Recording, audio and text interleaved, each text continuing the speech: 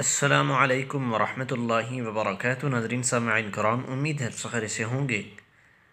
اللہ تعالیٰ آپ کو اپنے حفاظ میں رکھے، آپ کے حفاظ فرمائے۔ آج کی اسٹوڈیو میں ان شاء اللہ تعالیٰ اسیب، سحر وغیرہ سے حفاظت کا نبے نسخہ ان شاء اللہ تعالیٰ پڑھنا سیکھیں گے۔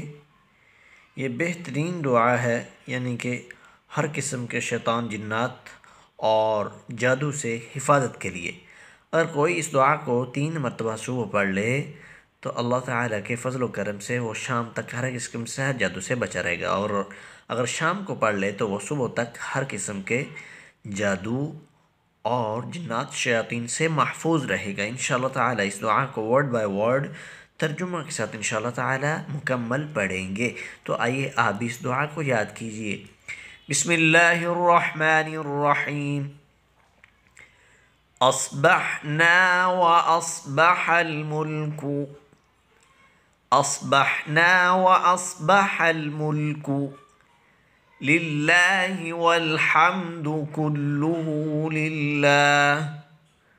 لله والحمد كله لله.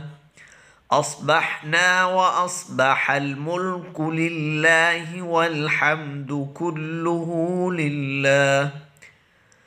أعوذ بالله الذي يمسك السماء.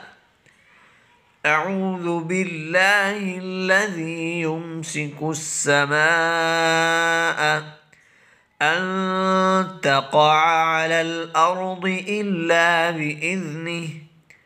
أن تقع على الأرض إلا بإذنه.